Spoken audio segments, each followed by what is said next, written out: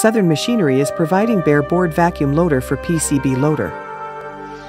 This machine has a large stock capacity with flexible suction cup positioning. Also includes bypass mode, it is controlled by Omron PLC and has convenient front door stack loading.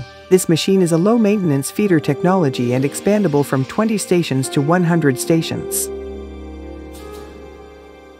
It has more feature as compared to its price because of the high quality result.